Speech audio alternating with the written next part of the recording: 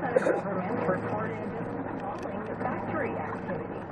Last year in April, car buyers in the U.S. did know Volkswagen was cheating on its diesel emissions test. One year later, Volkswagen sales are down for a sixth straight month, falling almost 10% in April.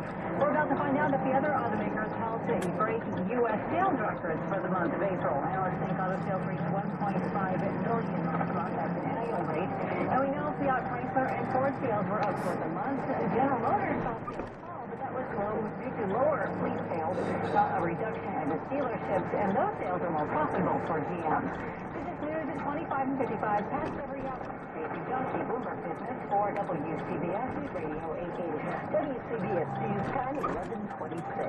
Organize your home with custom design closets and solutions by Closet Factory. Call 800-400-2673 for an exclusive design consultation. Closet Factory with showrooms in Manhattan and Long Island has built their reputation on quality custom closets. They'll apply the same personalized approach to any other room in your